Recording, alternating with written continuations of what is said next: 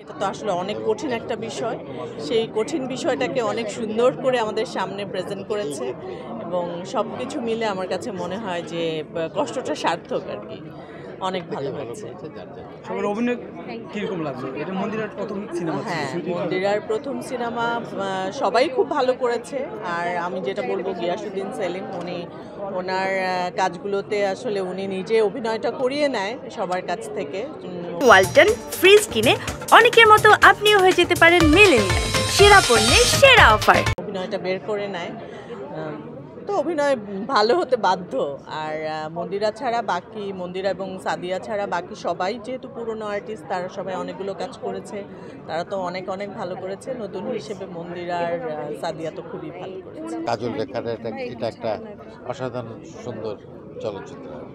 আর প্রত্যেকেই যার যার থেকে, যার যার জায়গা থেকে প্রত্যেকে ভালো করে এবং প্রত্যেকেই ভালো করেছে। তবে আমি মুগ্ধ হয়েছি এই ছবির পুরো লোকেশন খুবই বিশ্বাসযোগ্য ছিল। আজকের থেকে কত বছর আগের এই কাহিনী আমরা ছোটোবেলা থেকে শুনেছি? হয়তো দেড়শো, দুইশো বছর আগে।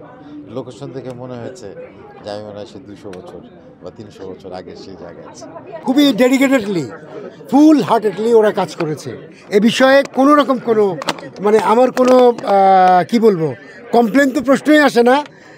মানে তারা ওন করেছে কাজটা এবং খুব ভালোভাবে সময় মতো, দীর্ঘ সময় ধরে পরিশ্রম করে কাজটা করেছে। নাই নাই নাই করতে করতে আসলে আমরা তো সব কিছু খেয়ে হারিয়ে ফেলছি। আমার জায়গা থেকে আমি বলব, এটা হয়তো একটা পথ দেখাবে মানুষকে।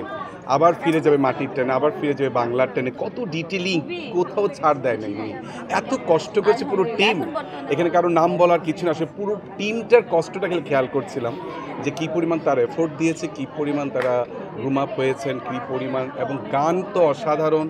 অভিনয়ের জায়গা, গানের জায়গা ডিরেকশনের জায়গা কস্টিউমের জায়গা প্রতিটা জিনিস আসলে মানে একটা কমপ্লিট ওয়ার্ক যাকে বলে সেটাই আসলে হয়েছে।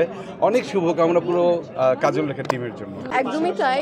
যেহেতু আমি পার্সোনাল লাইফে আমি অনেক চুপচাপ আর সেলিম ভাইয়ের সাথে যখন আমার প্রথম শ্যুট হয় নাটকের তখন আমাকে এইভাবে দেখেই আসলে কাজল রেখাকে সে সিলেক্ট করে। পান মা- পাতা মুখ আর হচ্ছে প্লাস আমি অনেক চুপচাপ কাজল রেখার ক্যারেক্টারের সাথে মিলেছে দ্যাটস ওয়াই আমাকে নেওয়া আসলে। একটু কথা না বলে যে কথা বলা পর্দায় এটা সিনেমা চোখ মুখ কথা বলা অনেক বেশি চোখে মুখে কথা বলে কিনা এটা আমি তো জানি না। মানে যতটুকু অভিনয় করেছি, ওভাবেই করতে বলেছে আসলে। আর কাজলেখার পুরো ক্যারেক্টারটাই হচ্ছে অনেক চুপচাপ থাকে আর স্ট্রাগল যায় ছোটবেলা থেকে বড়বেলা অবধি আপনারা তো দেখেছেনই আর খুবই কথা কম বলে না পারতে নয়। কঠিন স্মৃতি ছিল যেটা আমার চড়ে হাঁটা ঘাস খাওয়া আর নদীতে ঝাঁপ দেওয়া এগুলো মানে আমি তো কখনো আসলে জীবনে করিনি সো এগুলো আমার জন্য একটু টাফ ছিল। আর বেস্ট স্মৃতি যদি বলতে হয় তাহলে প্রতিদিনই আসলে বলা যেতে পারে কারণ প্রতিদিন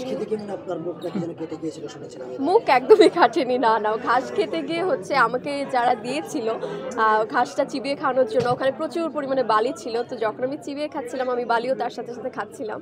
তো ওটার জন্য একটু কষ্ট হয়েছিল আমার।